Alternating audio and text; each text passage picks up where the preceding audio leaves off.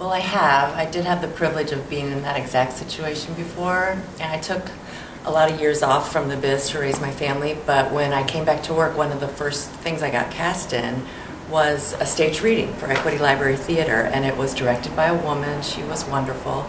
And the cast was comprised exclusively of six women in their 40s and 50s.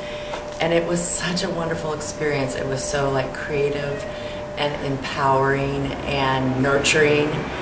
And I remember thinking that I felt really lucky that my first vehicle back was this. Um, you know, it wasn't a big deal because we just had several rehearsals and then one stage reading performance.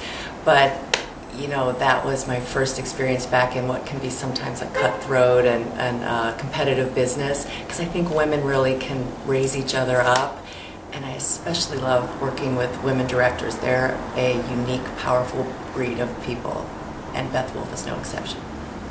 I've never actually worked on a show that was all women. Obviously, as a female director, I've been at the helm of a lot of productions, but uh, it's really been exciting to be in a room that is just women. Our stage manager is also a woman, the wonderful Samantha Tink.